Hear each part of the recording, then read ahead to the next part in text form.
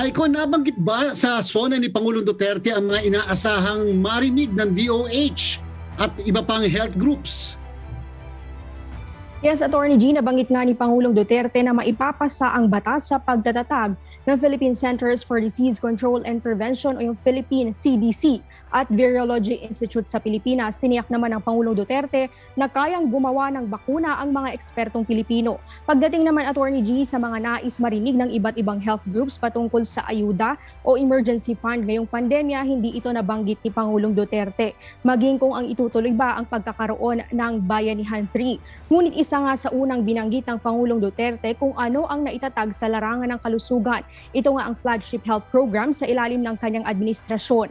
Inilahad nga ni Pangulong Duterte ang isa sa naging accomplishment sa larangan ng health sector sektor ay ang pagkakaroon ng Universal Healthcare Law na abot kaya at patas na health service para sa lahat ng mga Pilipino. Maging ang Malasakit Act 2019 kung saan ang pinakamahirap nating mga kababayan ay hindi na nangangailangan ng perang panggastos sa mga ospital. Nakapagtatag na nga ng nasa mahigit isang daang malasakit centers at asahan pa niya ng mga Pilipino na dadami pa ito. Pinasalamatan din ni Pangulong Duterte ang lahat ng frontliners na hindi tumitigil sa pagtulong sa kapwa sa gitna ng pandemya. Ang kanilang sakripisyo anya ay hindi matatawaran.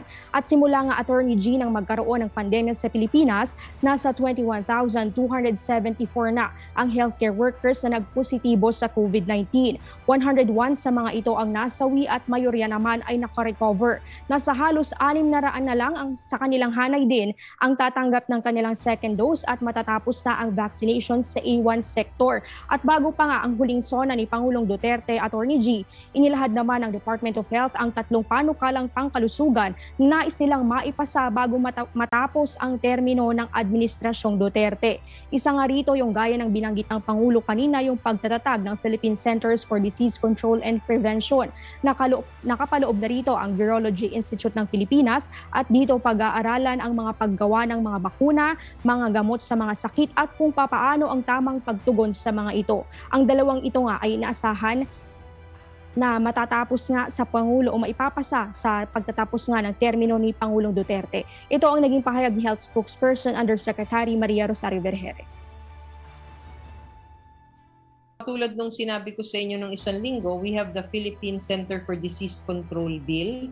Uh, ito yung naglalayo na magkaroon tayo ng highly technical uh, na institution kung saan researches, surveillance, uh, laboratories ay ma-integrate natin sa isa kasama po ang mga eksperto na tutulungan tayo for this uh, institution para mag, mas magkaroon tayo ng proactive responses uh, during times of public health emergencies.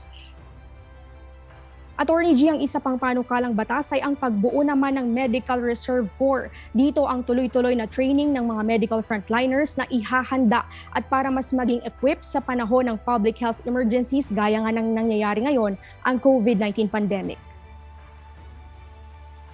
We also have the Medical Res- Reserve Corps Bill uh, kung saan ito yung act providing for the development, administration, organization, training, maintenance, and utilization of Medical Reserve Corps. And this is also as an uh, para bang uh, in relation to what happened to us dito po sa pandemyang ito, it,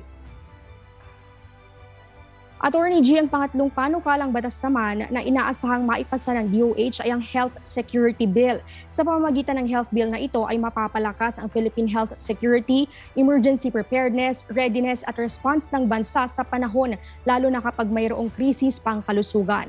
Isa mga sa mga nais mapakinggan sana ng mga health groups Attorney G gaya ng Filipino Nurses United ay ang pagtugon ng pamahalaan sa kakulangan ng mga staff sa mga healthcare facilities. Hanggang ngayon anya nananatiling under underpaid at overworked ang mga medical professionals. Madal- madami pa umano sa kanila ang hindi pa nakakatanggap ng kanilang COVID-19 benefits sa ilalim ng Bayanihan 2 o ang Bayanihan to Recover as One Act. Kulang pa rin ani, uh, umano ang mga na-hire na healthcare workers na mula sa 21,000 health workers na ipinangakong magkaroon na trabaho sa zona ng Pangulo noong 2020. At ayon pa sa grupo, patapos na nga ang termino ni Pangulong Duterte, hindi umano natupad ang pangako na mawakasan ang kontraktualisasyon sa medical field dahil marami pa rin sa kanilang hanay ang walang trabaho.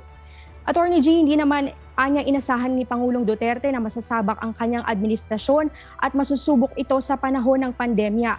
Ngunit prioridad ng pamahalaan ang pangailangan ng mamamayan ngayong pandemya ayon nga sa Pangulo, buhay muna bago ang lahat. Kagaya nga ng narinig nating lahat kanina, iniulat niya ang mga naging accomplishment ng pamahalaan kagaya ng pagkakaroon ng mas mataas na testing capacity ng Pilipinas, pagkakaroon ng dagdag na bed capacity sa mga ospital, sa mga mega at modular quarantine facilities, at maging ng pagtatatag ng mga bagong ospital at medical facilities sa iba't ibang panig ng bansa ngayong panahon ng pandemya. Meron na rin siyang iniulat na over 30 million na doses na natanggap ng Pilipinas at inaasahan pa ang nasa 36 million na doses ng COVID-19 vaccine sa mga susunod na buwan. Sa ngayon, Attorney Gina, sa 17 million na mga Pilipino na ang nakatanggap ng kanilang first dose ng COVID-19 vaccine. Attorney G, kanina nga rin ay sinabi nga ni Pangulong Duterte na the Philippines cannot afford anymore to implement a lockdown. Ngunit dahil sa bantangan ng Delta variant, ay maaaring ipatupad ito ng Pangulo kapag kinakailangan na. Yan muna ang latest live. Balik sa Attorney G. Sadya naman, Icon, na hindi natin mapagtatagumpayan ang laban kontra sa COVID-19 kung wala ang ating mga magigiting na health workers. Kaya naman, tayo dito sa UNTV, ha, sumasama tayo sa ating Pangulo sa pagpupugay sa ating mga health workers. At siyempre, basta't naandyan yung mga, mga batas na magpoprotekta sa kanila at sa kalusugan ng sambayan ng Pilipino katulad ng, binanggit mo nga, Universal Healthcare Law. Maraming maraming salamat, Aiko Miguel.